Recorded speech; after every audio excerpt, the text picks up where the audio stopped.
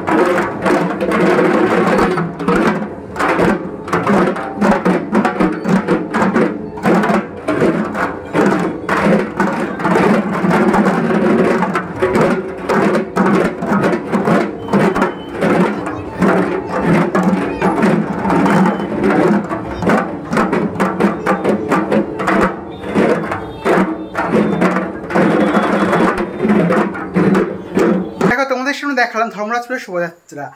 কেমন লাগল শোভাযাত্রা? অবশ্যই কিন্তু কমেন্ট করে জানাবা। দেখতে পেলে একটা বিরাট বর্ণাঢ্য শোভাযাত্রা। বাচ্চাদের থেকে এসে বেল্লাং আশ্রম হয়ে আবার বাস্তাতর পুনরায় এই শোভাযাত্রা প্রত্যাবর্তন করে এবং যাত্রাপথে তারা বিভিন্ন রকমের সনাতন ধর্মধর্ম বিভিন্ন রকমের দেবদেবীর সংসাদে তার সঙ্গে নৃত্য গীতের মাধ্যমে এই শোভাযাত্রা অনুষ্ঠিত হয়ে থাকে।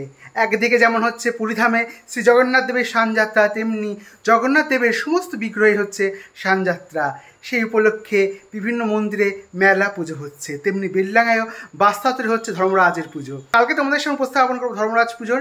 যে অগ্নিগড় সে অগ্নিগড়। তার আগে তোমাদের উপস্থাপন করলাম এই শুভযাত্রা ভিডিও কেমন লাগল কমেন্ট করে জানিও। আজকে ভিডিও ভালো লাগলে লাইক কমেন্ট শেয়ার এবং সাবস্ক্রাইব করতে ভুলো না। দেখা হচ্ছে খুব তাড়াতাড়ি অন্য কোনো পুজো মনে অন্য কোথাও, অন্য কোনো দিন। ভালো থাকব। ততদিন এই জন্য ধন্যবাদ। ভিডিও শেষ পর্যন্ত সঙ্গে থাকার জন্য নমস্কার।